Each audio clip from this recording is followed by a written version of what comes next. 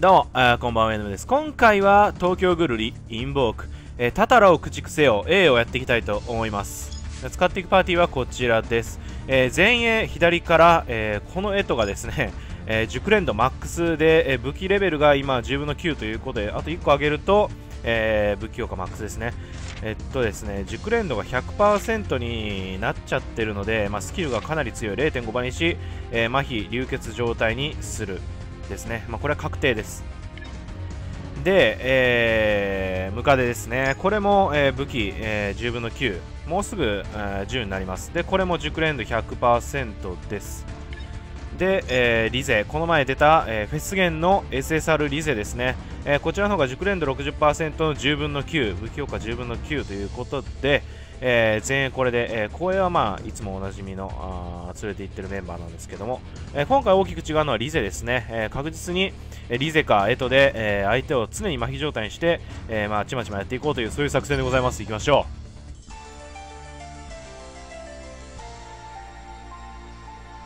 ちょっとタタラの A に関しては初見初見かなこれ。多分初見だと思うんだけど。少しだけ遊んであげる。えーまずですねブレイクすることが大事なんで、まあ、この1ターン目に関してはリゼ。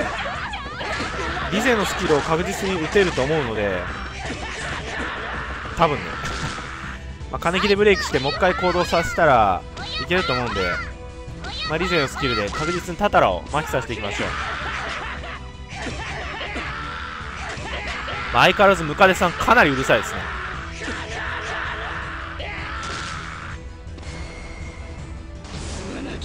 積まなきゃ。3よーしいいぞこれでリゼが行くかな。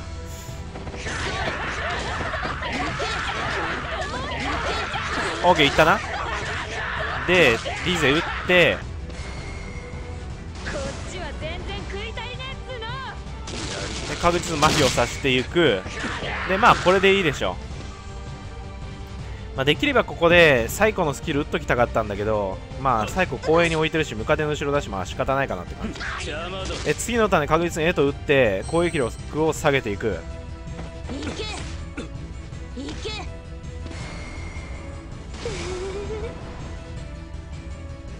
オッケー。これでデバフかけれるやつは全部かけた、まあ、あとはね削っていきましょう。やっぱあの駆逐ねあの数こなせばスピード勝負で数こなせばね報酬はうまいんですけどあー、まあ、チームのことを考えるとですねあのダメージできるだけ与えればい与えた方がいいので、まあ、ターンエンドってしてる人打つだけねスキル打ってターンエンドってしてるやり方多いと思うんですけど、まあ、ダメージはあ与えてもらった方が嬉しいですね。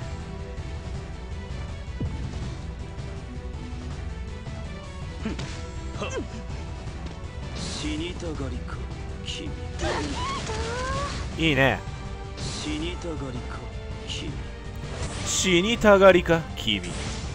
邪魔だオッケーオッケーオッケー。ここまでまあほぼノーダメと言っても過言ではない。こ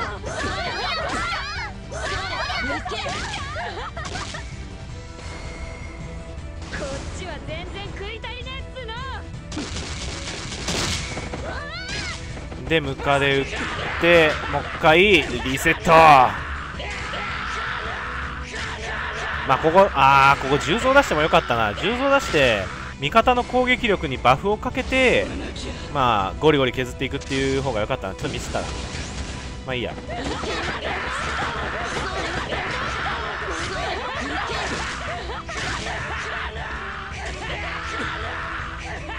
早くリゼさんをさあの熟練度100%にしたいですね。てか熟練度100%パーティーをいつか組んでみたい。まだまだかかると思うけど。あのー、誕生日金木がね熟練度100%なんだけどあいつエフェクト出ないからなんかちょっと微妙なんだよな。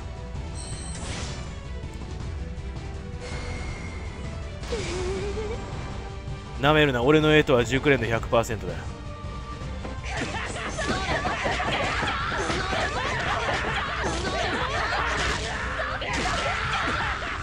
あーサイコのサイコの防御バフって次のターンこのターンいっぱいだったかな？3いいね。こっちは全然食いたいねっつの。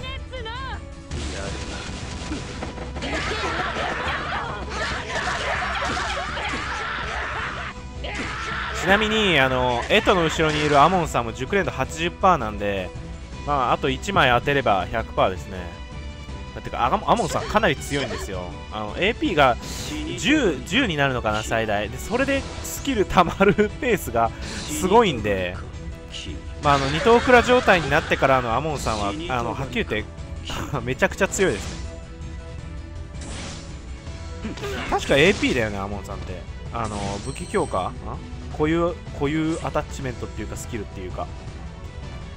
あーサイコのバフ抜いたんでちょっとサイコ出すかこのターン。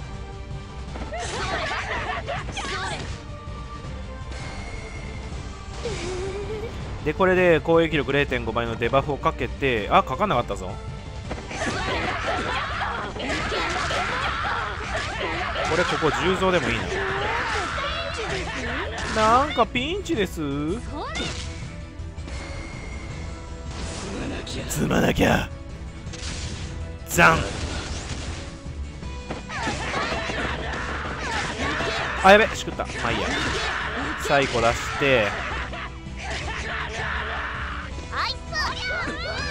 あそうか次のターンでもう終わりか。ならリゼ出して殴って終わりと。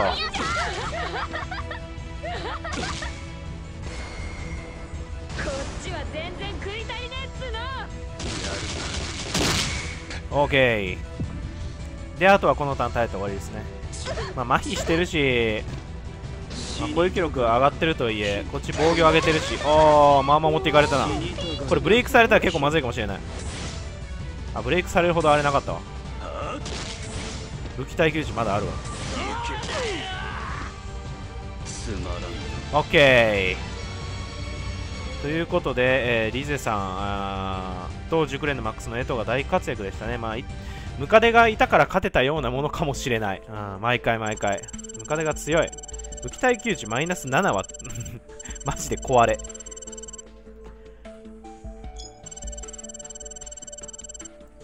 ちょっと減らせたかな。はいということで今回はタタラの駆逐 A をやりました。ではまた次回の実況動画でお会いしましょう。お疲れ様でした。